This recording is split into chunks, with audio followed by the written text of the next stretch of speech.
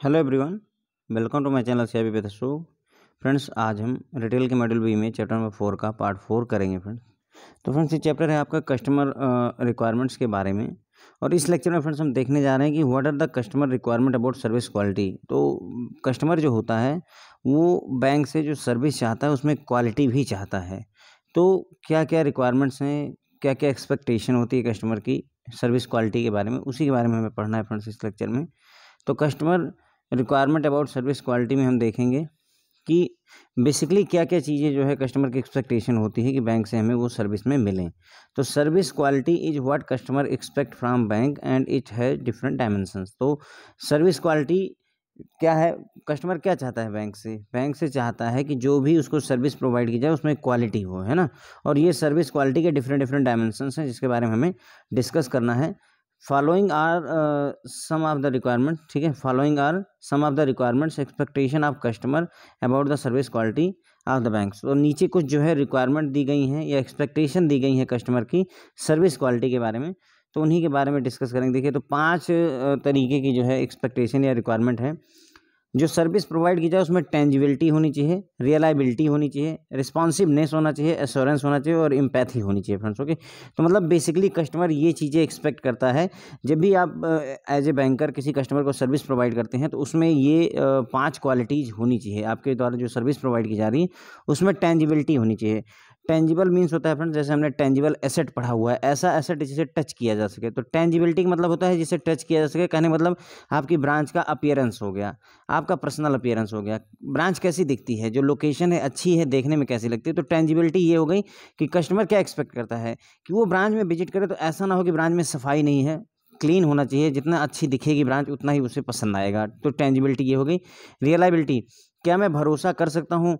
Rely reliability होनी चाहिए bank के ऊपर की। मतलब बैंक ने कहा कि हम दो दिन में आपका काम कर देंगे तो क्या वो ऐसा काम कर दिया उसने?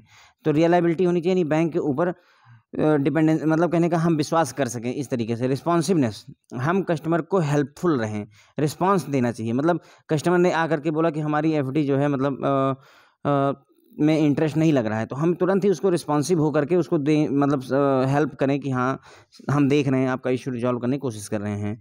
एश्योरेंस होनी चाहिए। एश्योरेंस का मतलब होता है फ्रेंड्स आपका, जैसे एश्योरेंस में मतलब आपको एश्योरेंस दिलवानी होगी। मतलब कहने का, आपको विनम्रता से पेश आना होगा और जो भी सर्विसेज़ हैं उनको प्रोवाइड करना पड़ेगा। अभी डिटेल में पढ़ लेंगे फ्रेंड्स एश्योरेंस के बारे में। इम्पैथिक मतलब होता है कि ये फील करना कि दूसरा क्या फील कर रहा है? मतलब कस्टमर क्या चाहता है, वो चीज़ को बैंकर फील कर ले तो इम्पैथी हो जाती है फ्रेंड्स ओके तो ये है कुछ एक्सपेक्टेशन कुछ रिक्वायरमेंट जो कस्टमर चाहते हैं बैंक से सर्विस क्वालिटी में। सर्विस क्वालिटी में टेंजिबिलिटी होनी चाहिए, यानी फ़िज़िकल अपेयरेंस अच्छा होना चाहिए रियलाइबिलिटी होनी चाहिए, यानी हम विश्वास कर सकें रिलाई कर सकें बैंक के ऊपर। रिस्पॉन्सिवनेस आप प्रॉम्प्टली उसकी इशूज़ को रिजॉल्व करिए। एश्योरेंस दीजिए कि हाँ जो भी हम कह रहे हैं वही हम करेंगे। इम्पैथी होनी चाहिए, यानी कि कस्टमर की प्रॉब्लम को महसूस करना। चाहिए। तो ये चार पाँच रिक्वायर वो हैं जो बैंक से एक्सपेक्ट करता है कस्टमर सर्विस क्वालिटी में। अब इन पाँचों के बारे में फ्रेंड्स हम डिटेल में पढ़ेंगे। देखिए, पहला है टेंजिबिलिटी चाहता है। कस्टमर क्या चाहता है फ्रेंड्स? टेंजिबिलिटी चाहता है appearance of physical facility, equipment, personnel and communication material. तो ये क्या चीज़ टेंजिबिलिटी में क्या आता है? फ़िज़िकल फैसिलिटी का अपियरेंस कैसा है?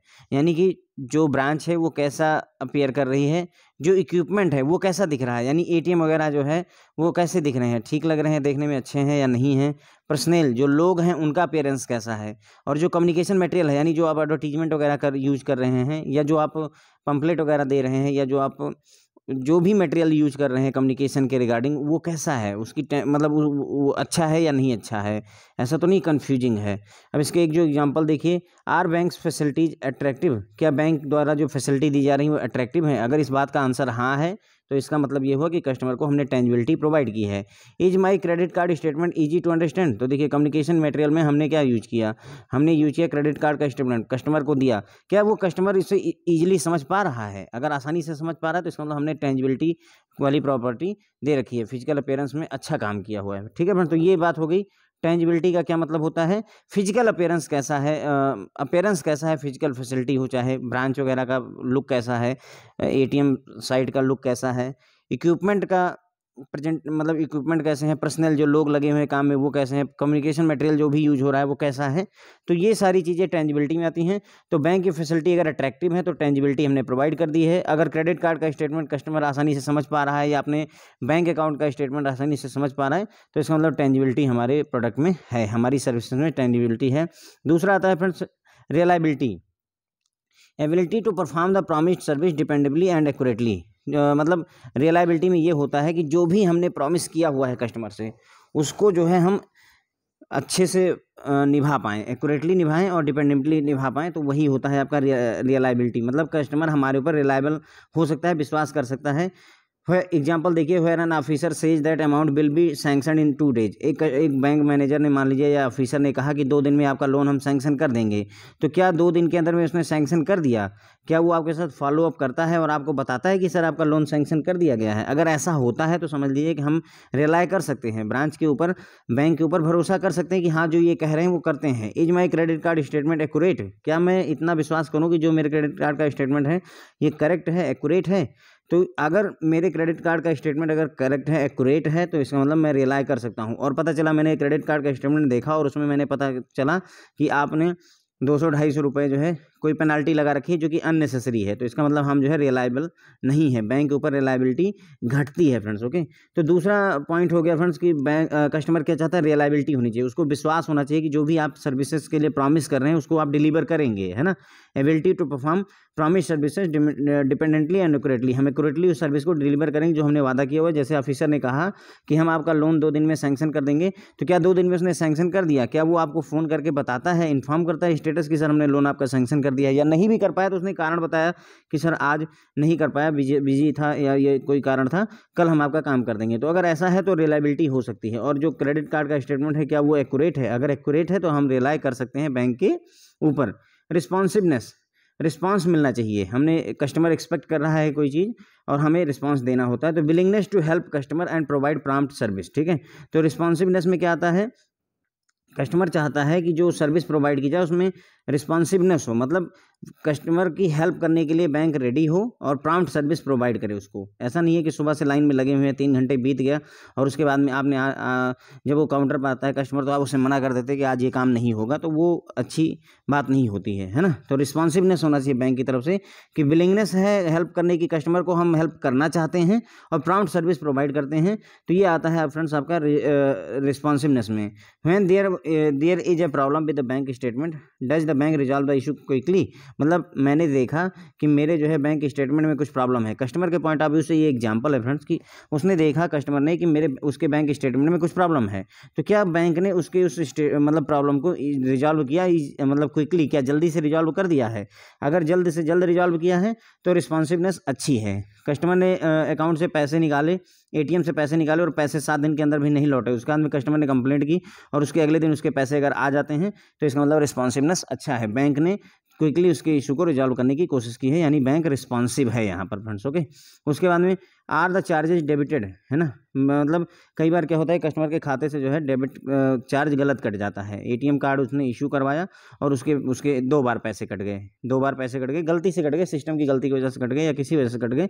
तो जो चार्ज जो है डेबिटेड रॉन्गली, जो डेबिट गलत तरीके से डेबिट किए गए थे, क्या वो मेरे अकाउंट में दोबारा जो है रिक्रेडिट कर दिए गए हैं? अगर ऐसा कर दिया गया है तो इसका मतलब बैंक मेरा रिस्पॉन्सिव है फ्रेंड्स ओके उसके बाद में आता है फ्रेंड्स एश्योरेंस चाहता है। कस्टमर क्या चाहता है? एश्योरेंस एश्योरेंस में कई सारी क्वालिटी आती है फ्रेंड्स ओके एक तो कंपिटेंस होना चाहिए। मतलब आप जो काम कर रहे हैं, उसकी आपको नॉलेज होनी चाहिए। Possession of required skill and knowledge to perform service है ना?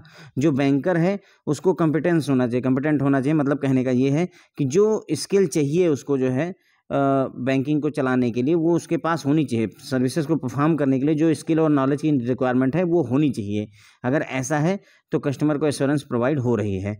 कर्टसी पोलाइटनेस होनी चाहिए। पोलाइटनेस होना चाहिए रिस्पेक्ट होना चाहिए। Consideration and friendliness of contract personal जो लोग हैं बैंक की ब्रांच के, वो पोलाइट होने चाहिए रिस्पेक्ट देनी चाहिए कस्टमर को कंसीडर करना चाहिए, किसी की प्रॉब्लम को कंसीडर करना चाहिए और फ्रेंडली होना चाहिए।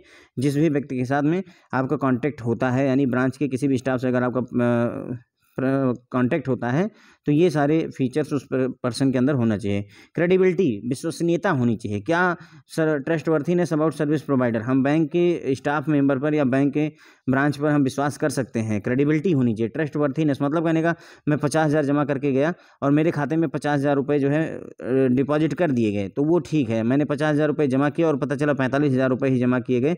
पाँच हज़ार रुपये गायब कर दिए गए। तो वहाँ पर क्रेडिबिलिटी बैंक की घटती है फ्रेंड्स ओके उसके बाद में आता है फ्रेंड्स सिक्योरिटी भी इसी के तहत आती है। एश्योरेंस में सिक्योरिटी भी आती है फ्रीडम फ्राम रिस्क और डाउट मतलब मेरे मन में डाउट नहीं होना चाहिए और किसी तरीके का रिस्क नहीं होना चाहिए। अगर मैं बैंक से कोई सर्विस ले रहा हूँ तो मुझे इस बात की एश्योरेंस होनी चाहिए कि कोई टेंशन लेने की ज़रूरत नहीं, ना तो कोई रिस्क है ना ही कोई डाउट करने की ज़रूरत है मुझे बैंक की ब्रांच पर या बैंक पर। ठीक है फ्रेंड तो ये एश्योरेंस का पॉइंट ऑफ़ व्यू होता है। एश्योरेंस में चार चीज़ें होती हैं। एक तो कंपिटेंस होता है, दूसरा कर्टसी होती है, तीसरा क्रेडिबिलिटी होती है और चौथा सिक्योरिटी होती है। कंपिटेंस का मतलब होता है जो व्यक्ति है, क्या उसको कंपिटेंट है, क्या उसको सफिशिएंट नॉलेज है स्किल है उसके पास में उस सर्विस को देने के लिए? कर्टसी में आता है कि लोग जो है मतलब पोलाइट मतलब आपके साथ अच्छा व्यवहार करें कस्टमर के साथ अच्छा व्यवहार करें पोलाइटनेस हो रिस्पेक्ट हो कंसिडरेशन होना चाहिए फ्रेंडलीनेस होना चाहिए। और क्रेडिबिलिटी का मतलब होता है फ्रेंड विश्वसनीयता मतलब क्या हम ट्रस्ट वर्थी माने इस सर्विस प्रोवाइडर को? जो बैंक का ब्रांच है, उसके ऊपर विश्वास कर सकते हैं? कई बार कस्टमर ऐसे आते हैं, दो लाख, तीन लाख रुपये ऐसे ही जमा करके चले जाते हैं और रसीद भी हमसे नहीं लेते हैं रिसिप्ट भी नहीं लेते हैं। तो वैसे कस्टमर जो है मतलब क्रेडिबिलिटी है उनकी। हमारे बैंक की ब्रांच पर ट्रस्ट है, इसीलिए तो वो ऐसा कर रहे हैं। अदरवाइज़ कोई दस रुपये भी छोड़ करके नहीं जाना चाहता है। सिक्योरिटी भी प्रोवाइड होनी चाहिए, यानी कि उसको रिस्क और जो है डाउट नहीं होना चाहिए, फ्रीडम होनी चाहिए इस चीज़ से कस्टमर को। तो अगर ये सारी चीज़ें हम प्रोवाइड करें तो हम समझ लीजिए हमने कस्टमर को एश्योरेंस प्रोवाइड कर दी है। अब आता है फ्रेंड्स इम्पैथी इम्पैथी का मतलब होता है friends, understanding the customer. Customer को समझना।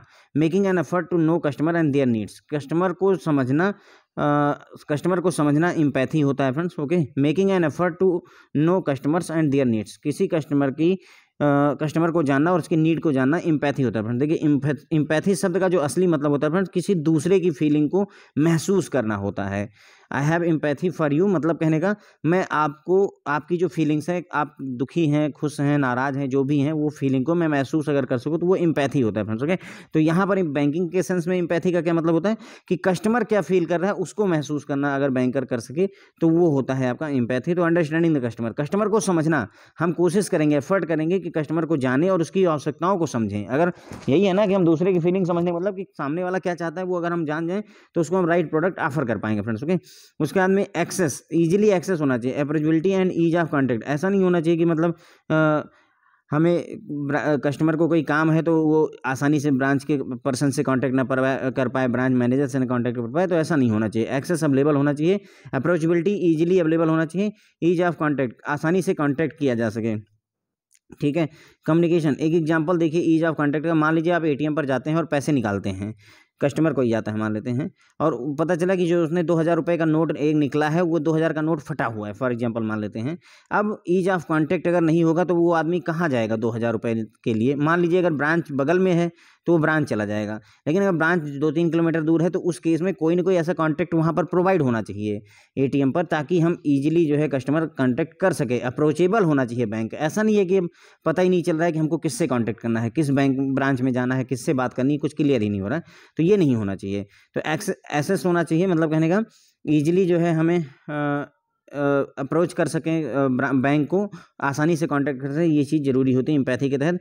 कम्युनिकेशन होना चाहिए, कि keeping customer informed in a language that they understand और इम्पैथी के तहत हम क्या करेंगे कम्युनिकेशन भी हमारी ऐसी होनी चाहिए, कि हम कस्टमर को इन्फॉर्मेशन जो दें, वो उसे ईजिली समझ में आए और उसे इन्फॉर्म्ड रखना चाहिए। जो भी चेंजेज हो रहे हैं, उसके बारे में बराबर जानकारी देते रहना चाहिए, ये इम्पैथी का पार्ट है। अगर डेबिट कार्ड जब आप पढ़ेंगे चैप्टर नंबर सिक्स तो आप ये देखेंगे कि उसमें बताया गया है कि अगर कोई भी चेंजेज आपको चार्जेज में करने हैं तो पहले ही इन्फॉर्म कर दीजिए कस्टमर को, बाद में ना बताइए, ताकि वो अगर उसे सरेंडर करना चाहता है अपना डेबिट कार्ड तो वो कर सकता है friends okay understanding the customer customer को समझना।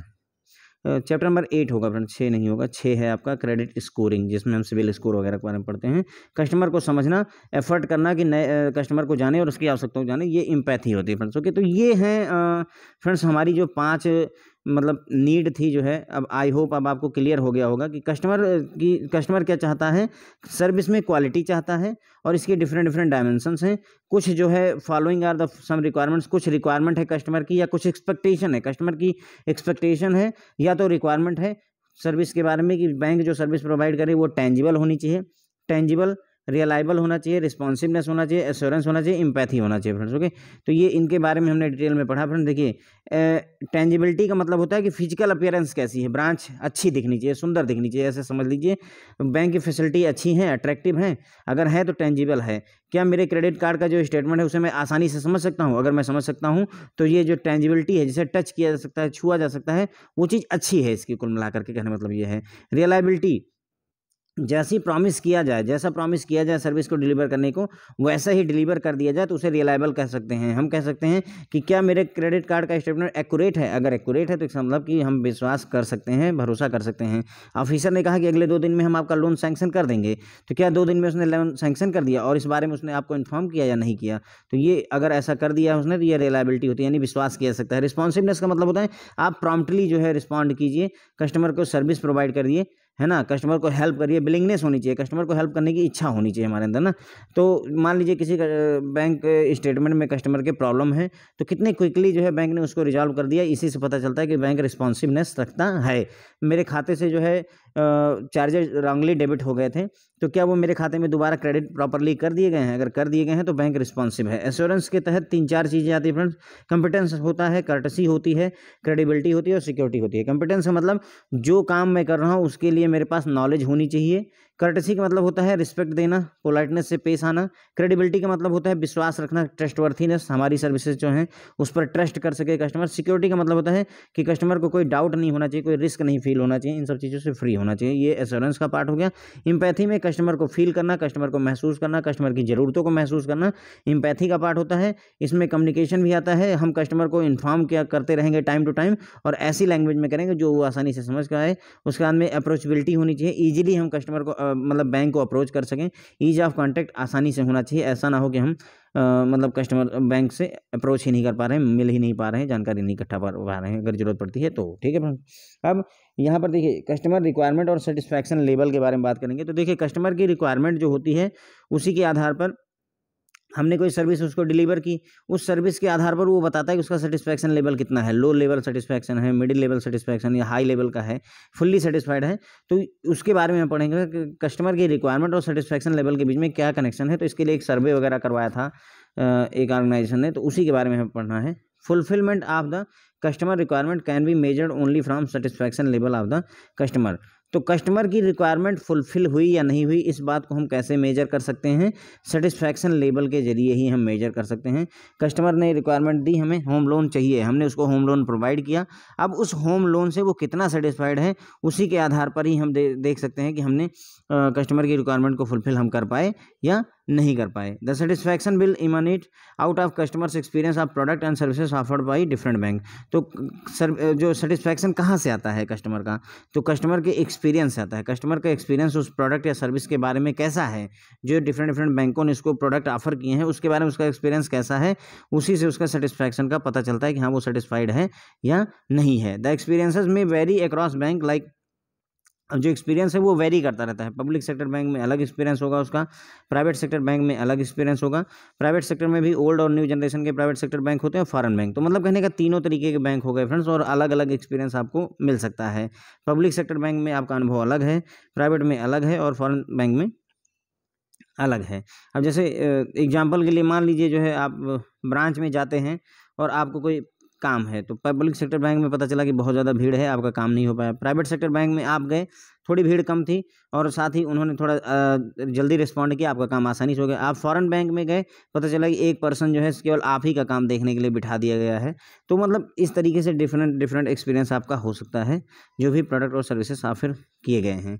A study conducted by leading research agency in past measure the customer service quality तो मतलब एक जो है मतलब एक कोई कंपनी है जिसने रिसर्च एक एक रिसर्च एजेंसी है, जिसने पहले जो है कस्टमर सर्विस क्वालिटी के बारे में एक सर्वे कंडक्ट किया था, ठीक है? As a reflection of meeting customers requirement revealed, ठीक है? तो इन्होंने क्या किया था? कस्टमर सर्विस क्वालिटी का एक सर्वे किया था और सर्वे में हमने ये देखने की कोशिश की थी, उन्होंने देखने की कोशिश की थी कि हम कस्टमर की रिक्वायरमेंट को कितना मीट कर पा रहे हैं, कितना सर्व, कस्टमर की रिक्वायरमेंट को हम फुलफिल कर पा रहे हैं, उसी चीज़ को मेजर करने की कोशिश की गई थी। तो कुछ जो इंटरेस्टिंग फाइंडिंग्स है इस स्टडी की, उसी के बारे में हम यहाँ पर सात आठ पॉइंट देखेंगे फ्रेंड्स, ओके? पहली बात तो ये कि इस स्टडी ने लगभग बीस हज़ार कस्टमर को कवर किया था, ठीक है? चाहे वो चारों टाइप की ब्रांचों से मेट्रो की ब्रांचें थी, अर्बन की ब्रांचें थी, सेमी अर्बन ब्रांचेज थी, रूरल ब्रांचें थी। तो सभी तरीके की ब्रांचों से बीस हज़ार कस्टमर जो कि सेविंग अकाउंट होल्डर थे, उनको शामिल किया था। चार हज़ार कस्टमर और लिए जो कि होम लोन के होल्डर थे और साढ़े तीन हज़ार कस्टमर को शामिल किया जिन्होंने क्रेडिट कार्ड ले रखा था। ठीक है फ्रेंड तो इस स्टडी में बीस हज़ार कस्टमर लिए गए सेविंग अकाउंट वाले। चार हज़ार कस्टमर लिए गए होम लोन वाले, साढ़े तीन हज़ार कस्टमर लिए गए क्रेडिट कार्ड वाले। डाटा याद रखने की ज़रूरत नहीं है। और इसमें सारे तरीके की branches metro urban semi urban rural branches सभी तरीके की ब्रांचों को शामिल किया गया था। अब इस स्टडी का ऑब्जेक्टिव क्या था? The objective of study is to measure the customer service quality of the bank इस इस जो स्टडी थी, जो रिसर्च की गई थी, उसका उद्देश्य था मेजर करना customer service quality bank. Bank की कस्टमर सर्विस की क्वालिटी कैसी है, उसको मेजर करना। और मेजर कैसे किया इन्होंने? इन्होंने क्या किया? के बनाई की परफॉर्मेंस इंडिकेटर्स बनाए और सर्विस क्वालिटी पर। और measure the quality based on the के ठीक है? तो इन्होंने क्या किया? की परफॉर्मेंस इंडिकेटर्स बनाए कि हाँ हम ये तीन चीज़ें देखेंगे। तीन चीज़ें कौन सी? ओवरऑल सेटिस्फैक्शन कैसा है? एडुकेसी कैसी है? और लॉयल्टी कैसी है? और उसी के आधार पर ही डिसाइड किया कि मतलब सर्विस की क्वालिटी कैसी है। फिर से समझिए, इस स्टडी का ऑब्जेक्टिव क्या था? कस्टमर सर्विस क्वालिटी को मेजर करना, ठीक है? और कैसे मेजर किया? के बनाई इन्होंने, की परफॉर्मेंस इंडिकेटर बनाया और उसको रेटिंग करी। के बनाई और उसको रेटिंग की ऑन सर्विस क्वालिटी की सर्विस क्वालिटी कैसी है? और इसी इसी के आधार पर इन्होंने इन्होंने के के आधार पर ही जो है मेजर किया क्वालिटी को ठीक है कि कैसी क्वालिटी की सर्विस प्रोवाइड हो रही है। The measurement of the satisfaction was made on three basic parameter. अब देखिए, सेटिस्फैक्शन का जो मेज़रमेंट था, वो तीन बेसिक पैरामीटर के आधार पर किया गया। पहला, ओवरऑल सेटिस्फैक्शन कस्टमर का कैसा है? दूसरा, एडोकेसी क्या है? और तीसरी लॉयल्टी कैसी है? ठीक है तो ओवरऑल सेटिस्फैक्शन मतलब प्रोडक्ट से सेटिस्फाइड हैं या नहीं हैं? एडवोकेसी क्या आप हमारे प्रोडक्ट के बारे में किसी और को भी जो है बताएँगे? एडवोकेट एडवोकेट बनेंगे हमारे लिए कहने मतलब एडवोकेसी करेंगे? और तीसरा है लॉयल्टी क्या आप हमारे बैंक के प्रति, हमारे प्रोडक्ट के प्रति लॉयल हैं? हमें छोड़कर तो नहीं जाएँगे। तो इन तीन की पैरामीटर जो हमने बताया नहीं आपको के तो ये की परफॉर्मेंस इंडिकेटर्स जो थे आपके, वो तीन की के जो है फ्रेंड्स यही थे, इन्हीं के आधार पर ही मतलब जज किया गया कि हाँ ओवरऑल बैंक की सर्विस की परफॉर्मेंस कैसी है? The rating shows healthy overall performance by the industry ठीक है तो जब इन्होंने रेटिंग की तो इन्होंने देखा कि हेल्थ ओवरऑल जो परफॉर्मेंस है वो हेल्दी है। ऐसा नहीं कि लोगों की निगेटिव थाट है। अब देखिए rating of on three overall measures are above eighty percent for all three product segment ठीक है तो ओवरऑल जो रेटिंग देखी गई, तीन पैरामीटर्स ओवरऑल सेटिस्फैक्शन एडवोकेसी और लॉयल्टी तीनों चीज़ों को लिया गया, तीन प्रोडक्ट लिए गए फ्रेंड्स आपके सेविंग अकाउंट को लिया गया क्रेडिट कार्ड को लिया गया और तीसरा लिया गया आपका होम लोन को। इन तीनों प्रोडक्ट को लेकर के और इन तीनों जो है आपके पैरामीटर्स को ले करके इन्होंने क्या किया, मेज़रमेंट किया ना।